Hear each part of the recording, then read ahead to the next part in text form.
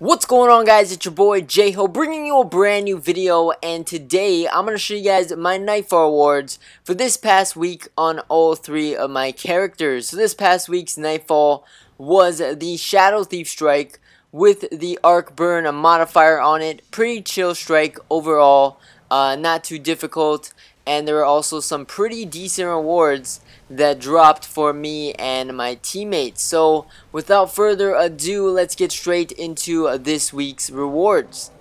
So starting off on my first character on my Warlock, we ended up getting our first exotic for the week and it was a No Land Beyond and my friend gets the Bones of Eao Hunter boots. So that was pretty cool. He really wanted that. Also, not a lot of people got that because Xur still has yet to sell that one. So that was pretty cool for him.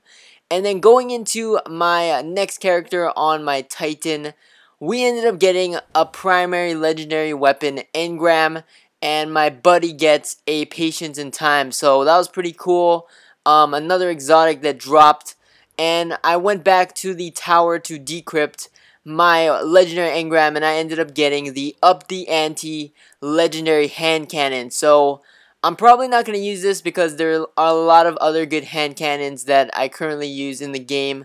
Uh, but it had decent perks on it. It had like explosive rounds, zen moment, stuff like that. But I'm probably not going to use it so I just dismantled it. And then finally on my hunter, my last character, I ended up getting another legendary this time. It was a machine gun called the Sawtooth Oscillator, and my friend gets a truth. So at least one of us got an exotic every time. That was pretty good.